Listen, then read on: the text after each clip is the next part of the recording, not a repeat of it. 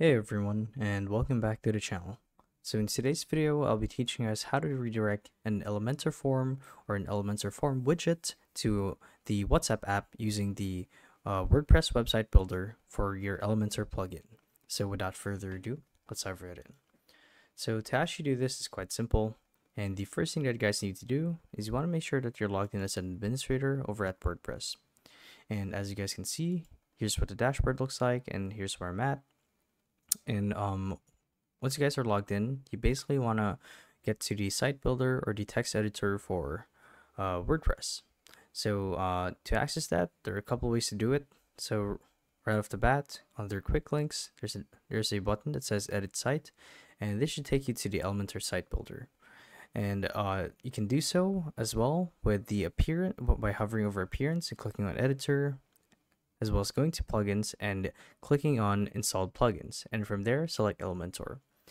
Or you can simply click on this, it doesn't really matter either way. Um, there are so many ways to get to the site builder for Elementor. Now if you guys want to go want to go ahead and edit a specific page or if I were to integrate a form widget to my about page for example as it's very fitting you guys would want to go to all pages on WordPress click on the ellipses or three dots and click on edit and what's going to happen is you guys would be redirected to this page right here. So the idea here is um, once you guys have the editor open, you want to click on the search bar for the widgets and type down form. Now I will tell you that the form widget is only available to people who have bought the Elementor Pro plan, but um, it's pretty much the same deal. You basically create a new container and simply drag that um, widget or that tool over to that container and configure it from there. And to show you guys what I mean, here's what it looks like real quick.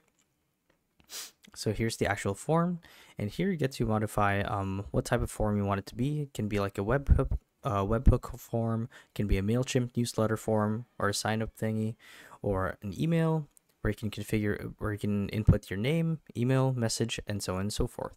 And show you guys a little GIF right here. Here's what it looks like.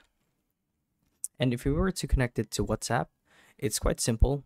You guys would want to click on content right here and under advanced, you should be uh, you should enter the uh, embed code for WhatsApp. And to extract that is quite simple. All you guys have to do is log into your WhatsApp account, and from there, you want to click on your profile icon and uh, get the link for your profile or embed. And show you guys what I mean. It's really that simple. So yeah, um, that's how you guys do it. So hopefully this video helped you guys out. And if it did, be sure to let us know down in the comment section below. And if you guys want to see more videos like these, we do have a YouTube channel where we do guides like these daily. So if you guys want to show your support that, you can do so by subscribing to the channel. So with all that said, thank you all for watching, and we'll see you guys in the next one. Bye-bye.